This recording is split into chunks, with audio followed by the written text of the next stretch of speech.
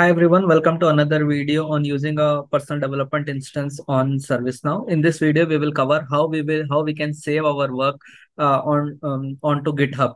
Uh, uh one of the reasons uh, one could go uh, for um, for using a GitHub is to um, have uh, whatever work we do on to the personal development instance, we can have a copy of it in the form of XML onto our GitHub uh, and another reason could be uh, uh, there is a uh, if we go through the uh, if we go through the site uh, one can read that if if there is no activity of an instance for more than 10 days then the instance will be claimed back. So under these conditions where we lose our instance we would want our data still to be there. So for that reason if we save our work on, on the github we can anytime import the data uh, from the GitHub back onto a new personal development instance, thereby uh, continuing with our work. So let's start. Uh, I am onto the uh, login page and I am clicking on the start building button. I have my instance open.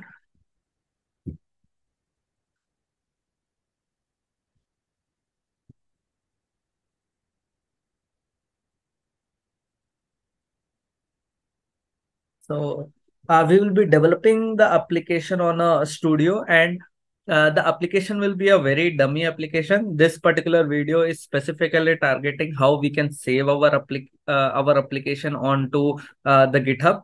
So let's start with it. So for building the application, um, I will be using uh, Studio. So Studio is available under system applications. I can uh, click on this, it opens into a new tab. Now I have access to the studio.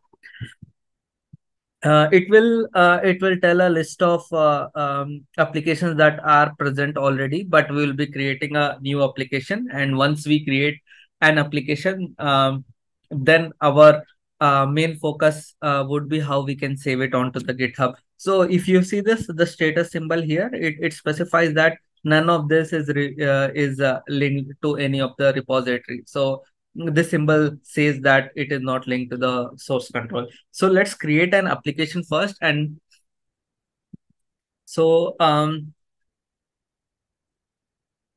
i'm giving the name of the application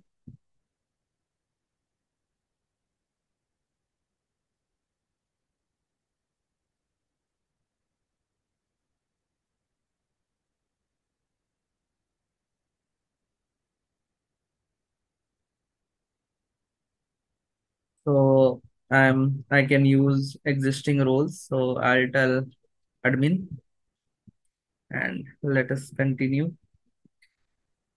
Let the experience be the classic one.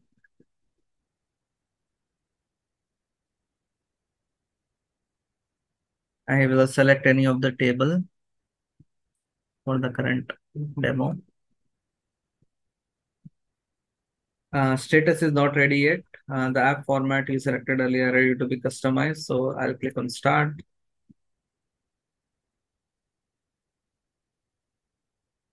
So we can go about creating the application now.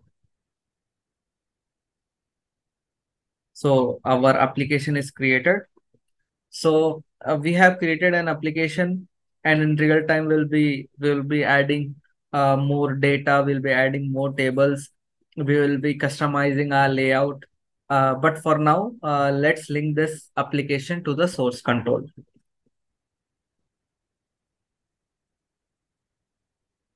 Okay, so our um, application is here. So uh, let us link this application to the source control. So let us see what the what options uh, one one gets to uh, to link the um, the application. So if you see, uh, we have an option for source control on the top left. Once I click on this, I have an option to link to the source control. So once I click on this, I have options. I need to know the URL of my repository. Uh, I need to pass the credentials. Uh, currently, if I load this, I have um, I have uh, uh, no credentials uh, in the list, and then um, and we need to pass what is the initial commit. So firstly, we need to have a repository and then we need to know the credentials that we need to pass. So first, let's create an repository on the GitHub and then uh, later think about what the credentials we need to pass. So uh, let me create a new repository. Uh, my repository name would be demo app or let's call it as job portal.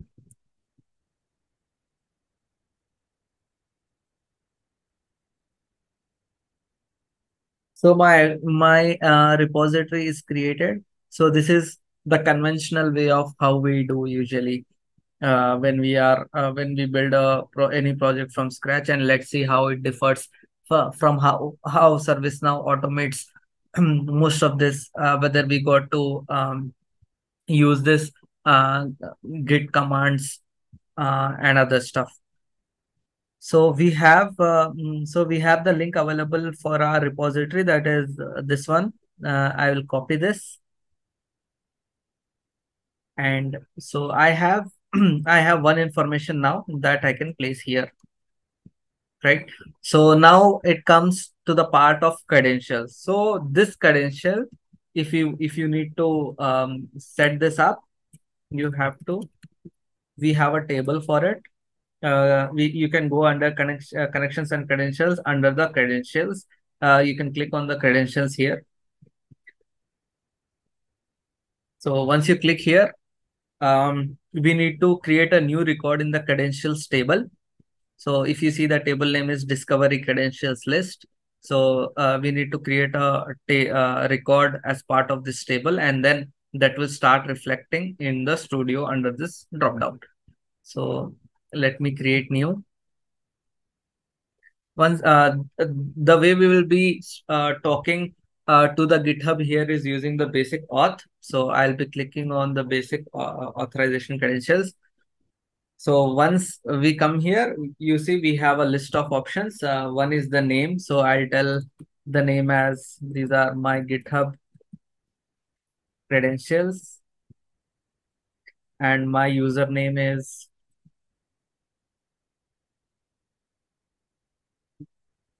and the password. This is an important thing. The password here is not the password that you usually log in uh, to your uh, GitHub account. The password here is more about uh, access to the repository. So for this, we need uh, access tokens. The access developer access tokens uh, is what we place here. So let's create that. I'll show you how or where we one can find it. So we have the repository and uh, you can go into your profile and uh, click on settings.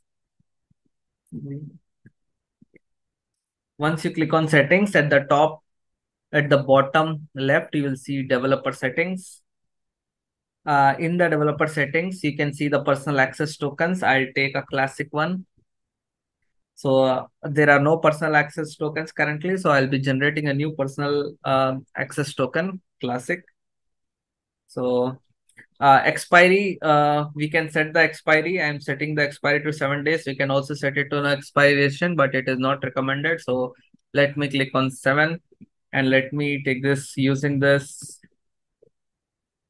for service now PDI personal development instance. So let me give it access. Depends on the level of access we would we want to give uh, to the users who is using the current personal access token. So I am asking it to generate the credentials. So I have the credentials. Um, I will copy this. Now I will move to the credentials new record that we were using and I'll paste my credentials here. Once done, if you see this is an active flag, meaning uh, this credential will be, uh, this record will be used.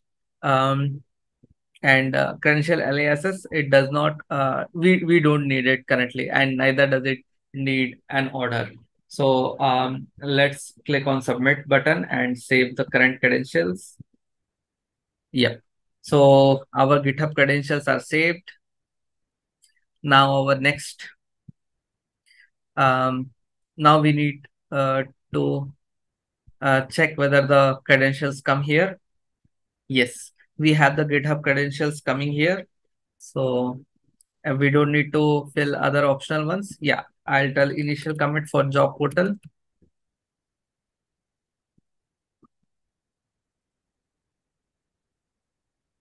Let's see whether we are successful to link our application to the source control or not.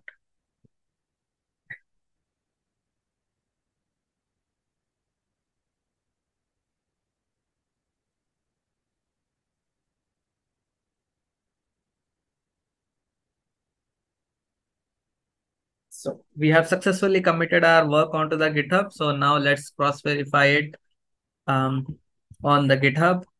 So looking into my repositories.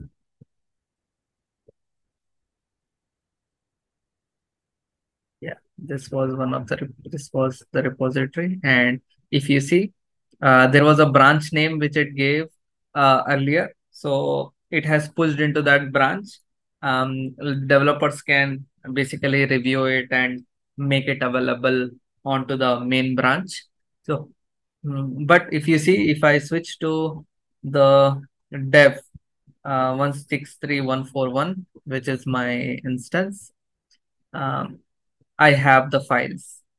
Uh, these are the list of files that come uh, whenever we create an application. So um, next time, uh, suppose uh, due to inactivity, if we lose uh, our instance, uh, we can import the application, which I will cover in the uh, in the next video. So uh, we have cross verified that we are able to uh, save our application onto the GitHub. And yeah, that's it from the uh, current video. Uh, in the next tutorial, uh, we shall see how we can import the application uh, from a GitHub onto the personal development instance on onto a new person.